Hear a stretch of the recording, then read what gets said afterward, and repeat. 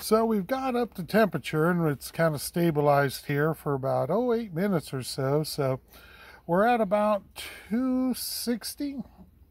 I say that's a pretty good, uh, pretty good temperature. Say we loaded the side firebox with two pounds or about 43 uh, of the discontinued Kingsford Longburn uh, charcoal. We've already run our large smoker box got all the good smoking. So now we're just in here for the ride for about an hour.